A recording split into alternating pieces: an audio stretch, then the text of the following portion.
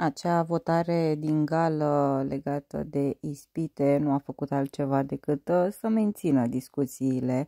despre mm, cine e ispita în casa Mireasa. Fetele mm, râdeau, Izabel cânta uh, despre Ionela că e haladită, se trezește, e ispitită, a spus ea și după Ionela a zis să poate ispitesc eu și atunci uh, au reformulat fetele, Andrada a zis se trezește, e ispită și de acolo a pornit subiectul.